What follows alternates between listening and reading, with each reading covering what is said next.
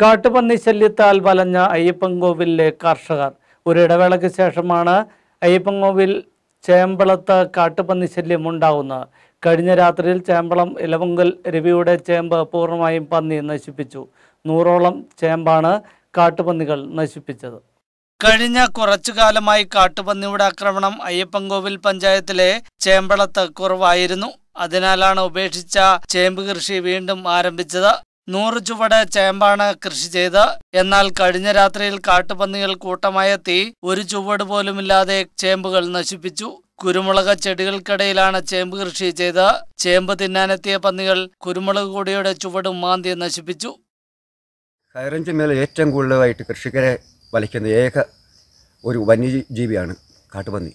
അത് ഇപ്പോൾ ഈ നാട്ടിൽ ഈ ചേമ്പളം ഭാഗത്ത് നിന്ന് പറഞ്ഞ എല്ലാ കൃഷിയിടത്തിലും തന്നെ വ്യാപകമായി കൃഷി നാശം സംഭവിപ്പിക്കുകയാണ്. അതായത് തന്നാണ്ട് വിളയായ കാച്ചിൽ ചേമ്പ് കപ്പ അങ്ങനെയുള്ള ഒരുമാതിരിപ്പെട്ട സാധനങ്ങളെല്ലാം അടുത്ത വർഷം നമുക്ക് നാണ്യ ഭക്ഷ്യയോഗ്യമായ വസ്തുക്കളെല്ലാം തിന്ന് നശിപ്പിക്കുകയാണ്.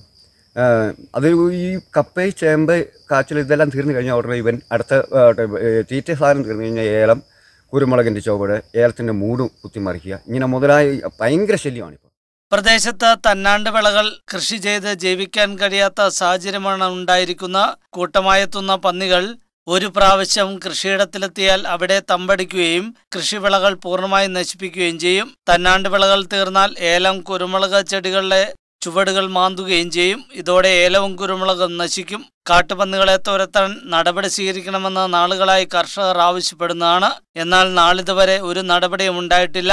പന്നികളെ വെടിവെച്ച് കൊല്ലാമെന്ന് സർക്കാർ ഉത്തരവുണ്ടെങ്കിലും അതിനുള്ള നിയമക്കുരുക്ക് കാരണം കർഷകർക്ക് അതിനും കഴിയുന്നില്ല. വനംവകുപ്പ് കാട്ടുപന്നി ശല്യത്തിന് ശാശ്വത പരിഹാരം ഉണ്ടാക്കണമെന്നാണ് കർഷകരുടെ ആവശ്യം. News bureau Murickassery.